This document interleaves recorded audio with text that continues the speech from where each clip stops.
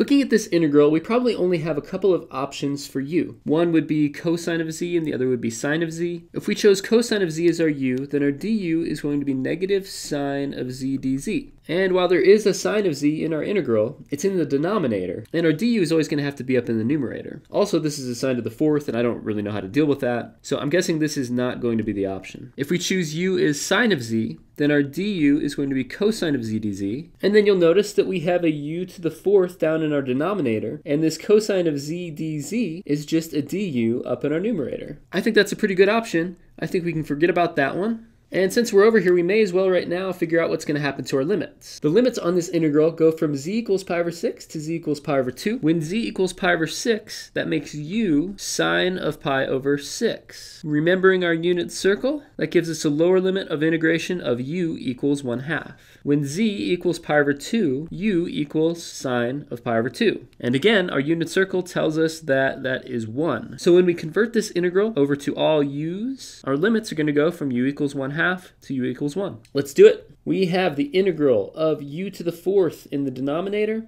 with just a regular old du on top and our limits are going from 1 half to 1. Now in this form, you might not be sure how to integrate this. A little mini step of algebra is pretty important here. u to the fourth in the denominator can be brought up to the numerator and called u to the negative fourth. And now it looks like we can just use the power rule for integration. We increase our power by 1, that makes this power negative 3. We divide by that same negative 3. We evaluate between 1 half and 1. Maybe just a little bit more room here. We can rewrite this if we want as 1 over 3u cubed with a negative sign on it, of course course, and we're going to evaluate that between 1 half and 1. The fundamental theorem of calculus, part 2, says that we plug in our upper limit of integration, we subtract, and we plug in our lower limit of integration. All right, let's see what these fractions turn into. This first term is just giving me negative 1 third. The minus and negative is going to give us a plus. If we cube 1 half, we get 1 eighth. That's 1 cubed on top and 2 cubed on the bottom. That gives us 1 over 3 eighths, which is 8 thirds. Combine those two fractions and we get 7 thirds as our final answer.